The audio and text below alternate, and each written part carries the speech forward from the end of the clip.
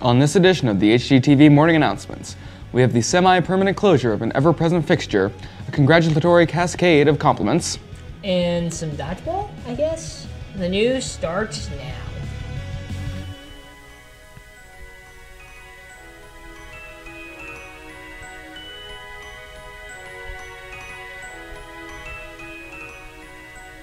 Please stand. I pledge allegiance to the flag of the United States of America and to the republic for which it stands, one nation, under God, indivisible, with liberty and justice for all. Hello, everyone. I'm the man with the plan, Dallas, and I'm still recovering from Avengers Endgame, which, in my opinion, is the most dramatic movie of the year by far. and I am bad at making decisions. Anyways, for lunch today on lines 1 and 2, we will have Asian or Buffalo Bites. Line 3 is soup and salad bar with chili. Line 4 is popcorn, shrimp, and pizza wedge. Line 5 is closed. And a happy birthday goes out to Ariel Alcazeta and Alexa Mejia. Now to sports with Nick. Thanks, Mo. The varsity golf team traveled to Lebanon to participate in the annual Kent Franzen Invite Saturday morning. They joined a 16 team field containing seven of the top 20 ranked teams in the state. Sasha Perch led the Dogs with a 79, along with Drew Grismer a 91, Reese Mitchell 104, and Cameron Caesar 108, resulting in a season best 383 on a very tough, wet course. Both the boys and girls track teams brought home the Clinton County Meet Championship, completing the clean 4-0 sweep. There were several, evan- several events where the dogs took to- the top two places. The individual champions include in the 100 and 200 Manny Garcia, in the 1600 Hugo Hernandez, and the boys 4x100 Jordan Cantanilla, Michael, and Garcia. In shot put, Zeke Vandeventer. And the girls 4x800 Celie, Alanis, Gijosa Valdez, and Espedio. And the 100 and 300 hurdles, Nayeli Alanis, Christina Espedio in the 400, Karina Alanis in the 800, and the girls 4x400, Debris, Valdez, Ramey, and Alanis. Kenny Garcia in the discus, and to round out the crew, Ella Myers in the shot put. The next meet for both teams will be at Lebanon with Sheridan on Tuesday for one of the final tune-up meetings before the Sagam- Sagamore Conference meet. The Frankfort varsity softball team won the county tourney on Saturday, defeating Clinton Central by a score of 10 to 5 in the first round, and then defeating Clinton Prairie by a score of 12 to 7 in the championship game. Morgan Dean went 6 for 8 on the day with 6 runs and a triple. Avery Drew picked up both wins, pitching a total of 8 innings, allowing 5 hits, 5 runs, and striking out 5.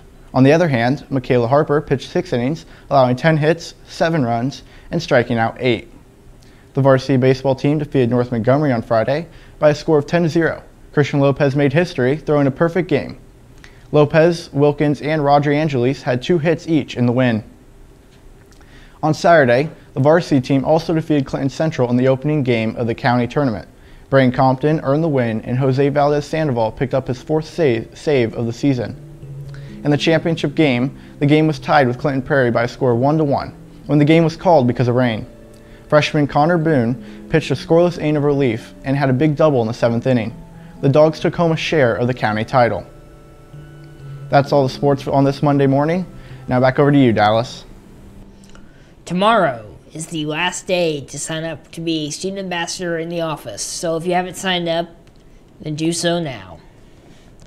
Ladies and gentlemen, this Friday will be the last day to purchase prom tickets, so if you want to purchase them, they will be in the bookstore as well as the permission slips.